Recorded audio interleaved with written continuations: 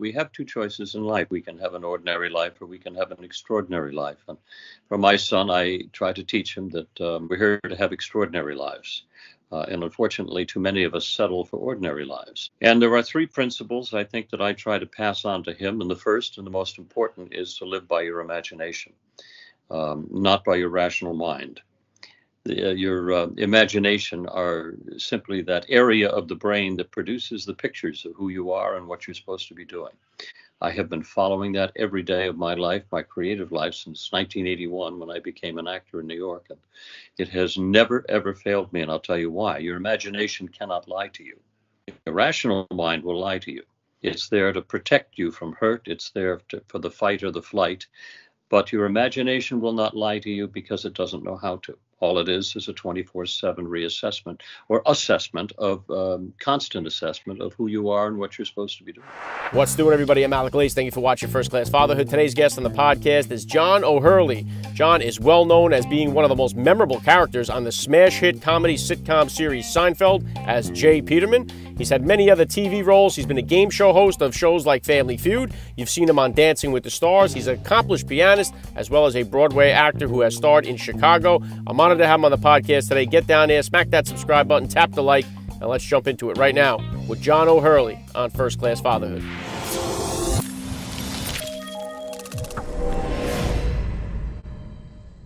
Joining me now, First Class Father, John O'Hurley. Welcome to First Class Fatherhood.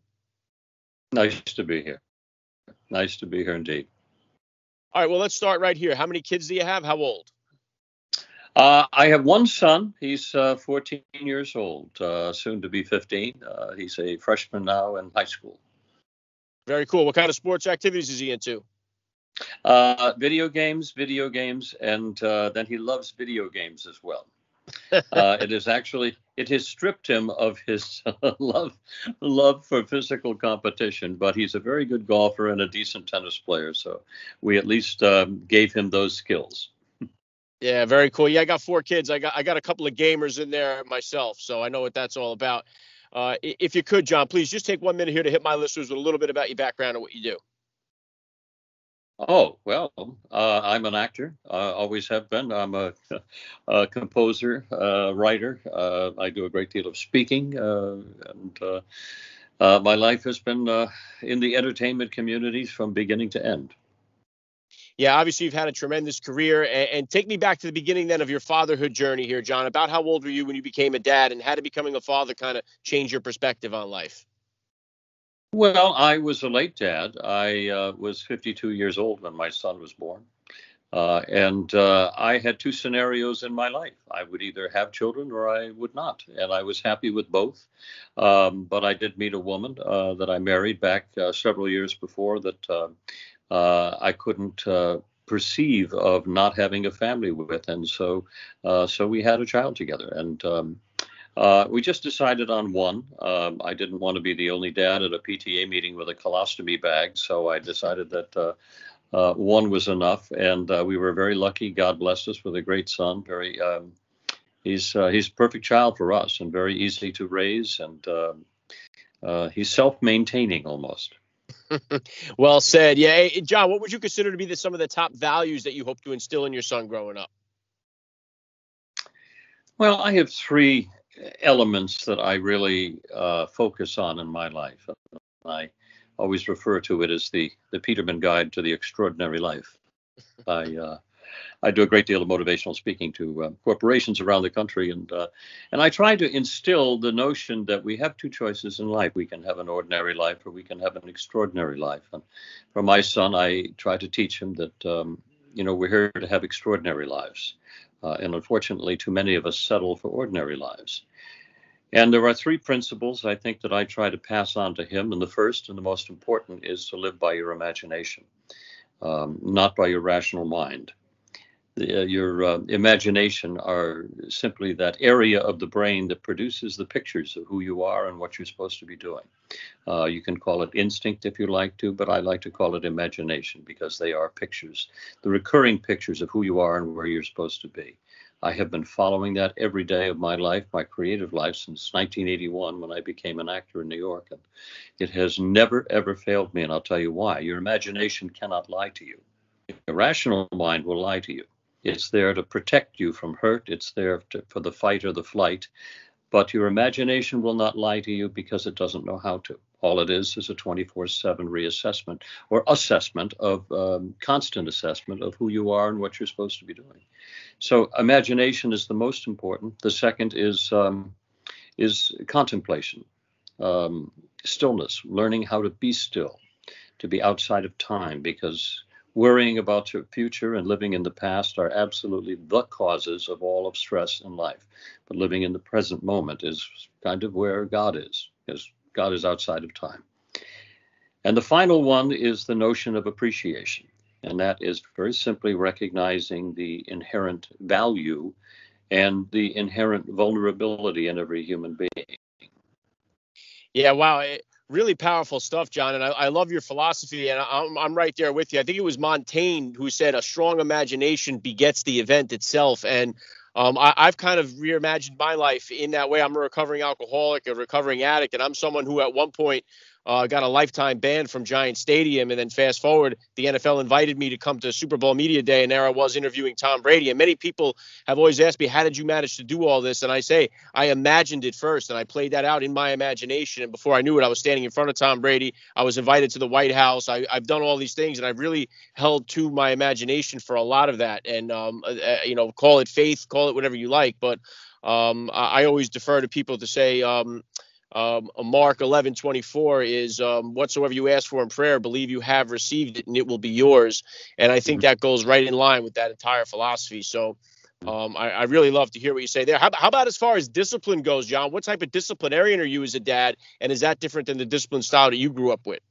Well, I grew up with no. It actually is, it uh, lines up very much coincidentally with the way my father was with me. Uh, he was a a very wonderful example of of uh, of great morality. Uh, he had a sense of uh, a sense of purpose and a sense of ethics that uh, I lived with, and all the way up until uh, he passed away last year at the age of 91. Um, in terms of how I approach my disciplining, um, that's exactly who I am. I'm the discipliner. My wife is the uh, my wife is the cuddler and the and the cuddler and uh, and the nester. Uh, and it works very well, and I like that because I don't mind being the discipliner. I'm not here. I'm not here on this earth to be my son's best friend. And I think people make really. I think people make distinct mistakes when they try to befriend their children, and are upset when they don't uh, have great friendships with their children. It's not important. Your job is to is to use the sickle and clear the path in front of that child so that they have a decent, decent opportunity to be a useful and moral human being. Your job is to leave the earth with another gift that God gave to you, which is that child. So my job to discipline him uh, is based on what I believe is a moral code, and I don't I don't shake from it. I don't apologize for it. Um, and I, being a father, I find that um, I now have to say no to things that um, that I would have said yes to uh, when I was back in my swinging bachelor days. Uh, yeah, and, and, much like you, listen, my father was 50 years old when he had me, and I grew up with that kind of um, that that threat of uh, just wait till your father comes home. And I often say, hey, if if I was ever caught out there breaking windows in a store or something, I would rather the police get me than my father ever get me. And I think when you don't have that, as we see in our, I talk about on my show, the fatherless crisis, we have so many kids growing up without a father or a father figure in their life. It's leading to all this uh, chaos that I think we're seeing from the breakdown of our nuclear families, and we're seeing this throughout our society here. That's causing uh, wreaking a lot of havoc all over the country. I agree with you 100%. And as I said, um, back when I was a swinging bachelor, there was a lot of things that I uh, could say yes to. But we ultimately define ourselves not by what we say yes to, but what we say no to.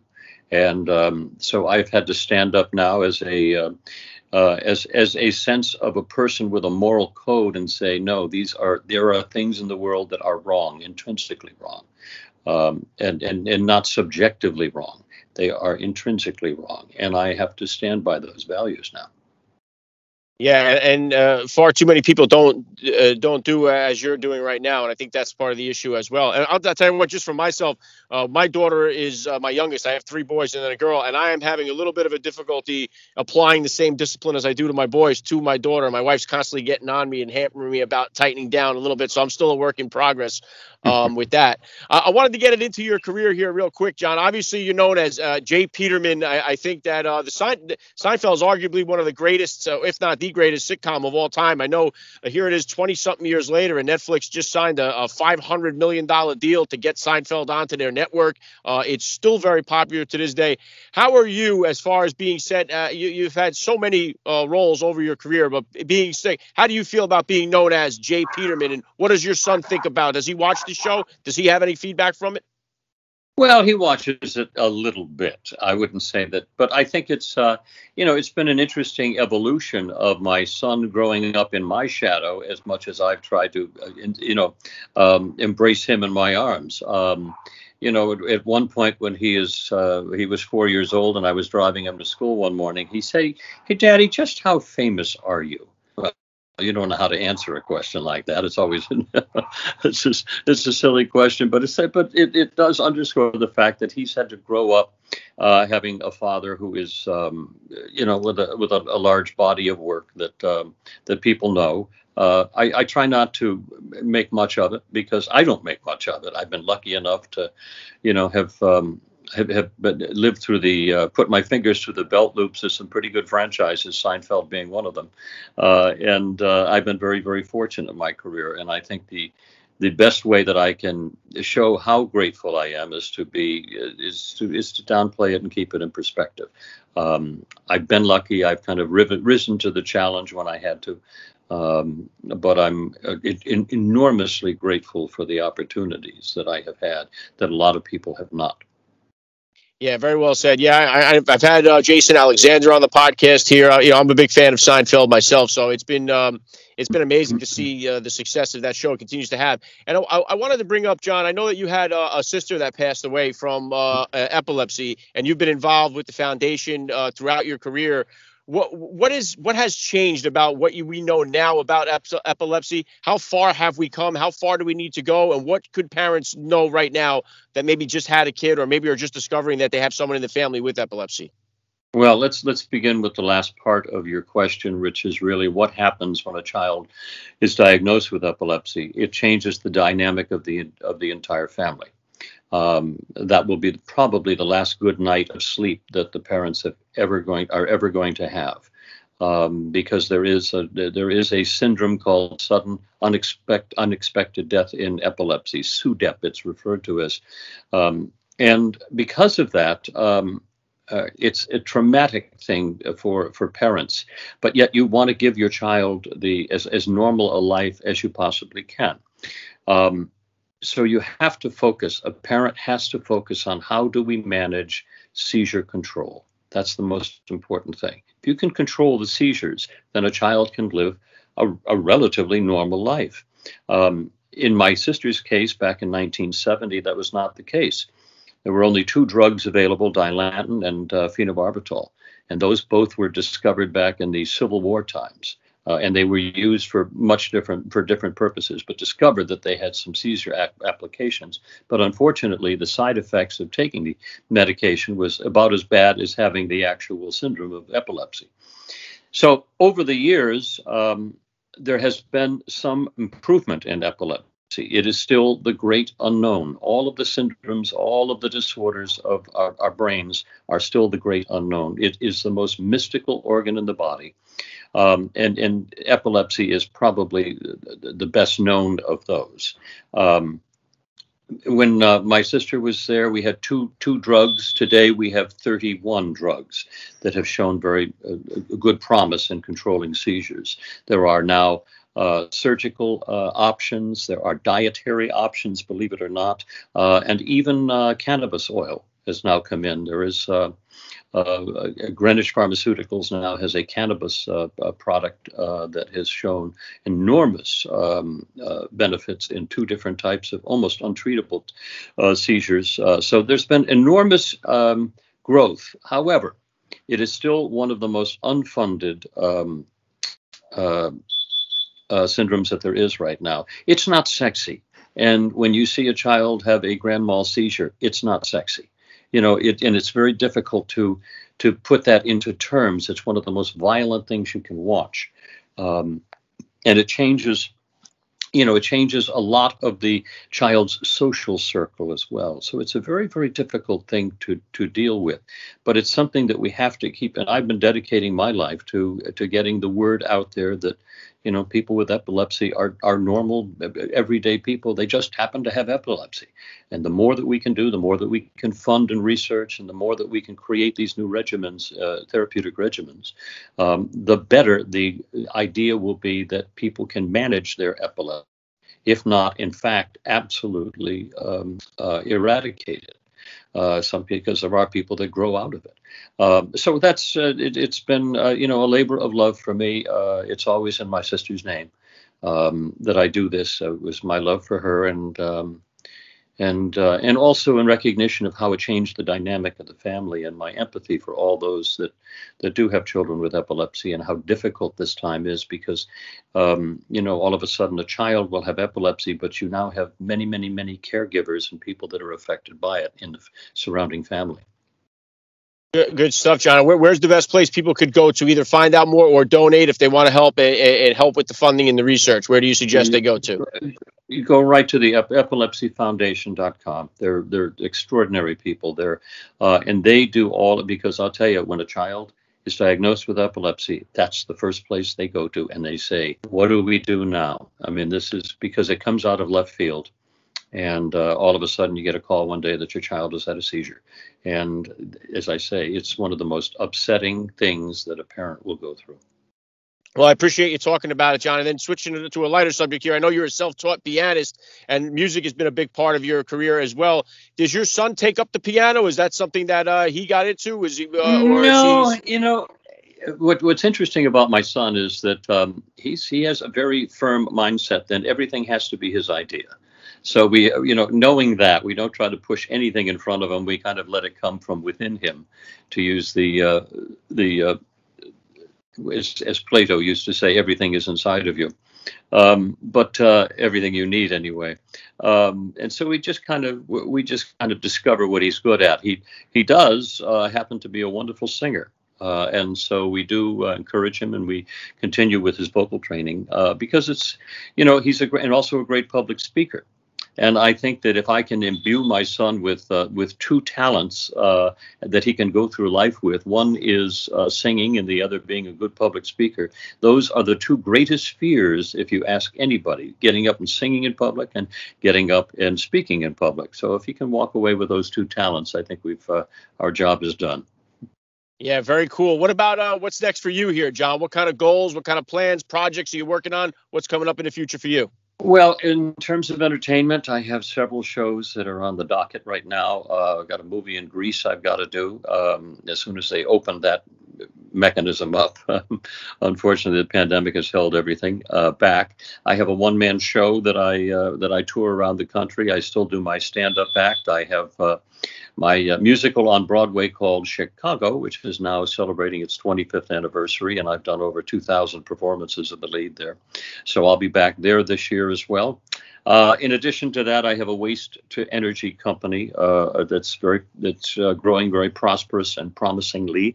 Um, that takes any form of waste and turns it into large amounts of energy, but with absolute zero emissions. And so, with our obsession to become carbon free and, and, and leave a zero carbon footprint, um, this is probably uh, going to be a culture changing technology.